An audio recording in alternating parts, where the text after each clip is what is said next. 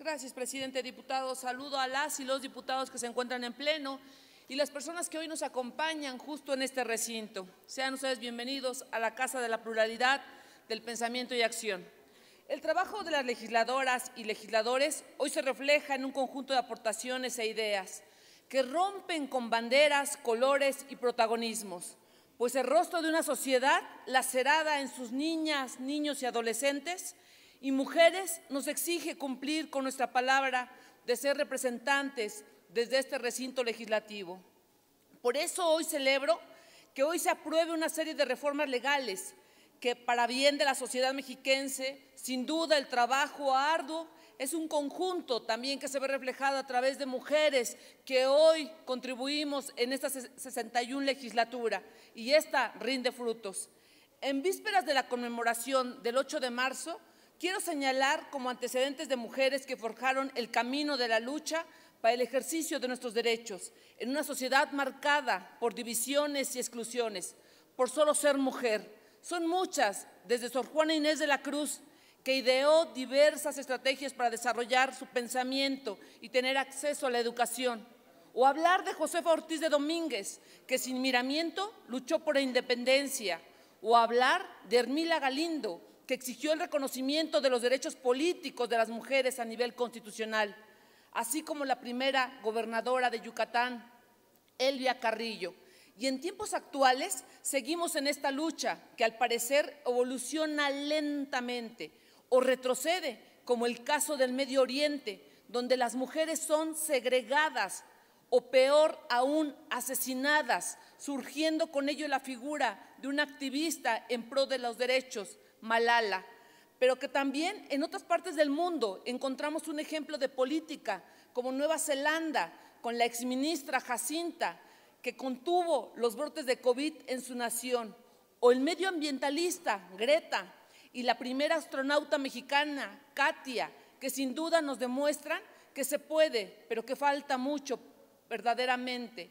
Encontramos una igualdad de derechos frente al género que debería de ser nuestro compañero. Hoy nuestra entidad mexiquense tiene la fortuna de ser parte de la historia, pues tenemos dos mujeres como candidatas a gobernadoras. Ellas rompen el paradigma ya hacen visible nuestras capacidades en el plano profesional. Si bien se avanza poco a poco en este tema coyuntural, el día de hoy con muestras claras y justificadas por méritos propios en diferentes sectores, grupos y representatividad, sin duda alguna, la mujer es pieza fundamental en aportaciones, no solo para sí misma, sino también por la complejidad del entramo social que vivimos. Las mujeres, por supuesto, Debemos ser caja de resonancia en las instituciones de este gran Estado. Las acciones, pensamientos y defensa deben hacer que esto sea posible y que se traduzca en una realidad. No existe mayor tenacidad y constancia cuando se requiere lograr algún objetivo que sea impulsado por la mujer. Son tiempos difíciles que exigen empatía, que exigen sororidad, escucha, pero sobre todo trabajo, democracia, el llamado desde esta tribuna es congruente y contundente.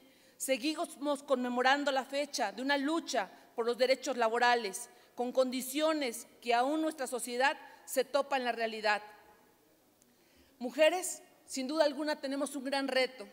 Sigamos siendo esa fuente de inspiración. Sigamos levantando la voz. Ni una más, ni una menos. Somos entes unidos por justicia y democracia somos libres y pensantes. Tenemos una gran responsabilidad de las niñas que no tienen la oportunidad de decir lo que tienen que decir. Somos una gran oportunidad de los niños en el abandono de nuestras calles, pero sobre todo somos una exigencia de igualdad. Hoy las mujeres de la 61 legislatura demostramos que tenemos un bien común, pero ese bien común tenemos que seguirlo haciendo como caja de resonancia. Hoy somos diputadas locales, pero la política se construye para más mujeres, la política se construye para un bienestar común, la política se construye para ellos y para ellos que no tienen esta posibilidad, pero sobre todo la política se construye para fortalecer, construir y consolidar una gran democracia en el Estado de México. Sin duda, las mujeres representamos la otra parte efectiva de la democracia mexiquense. ¿Es cuánto, presidente diputado? Muchas gracias, diputada Mendoza.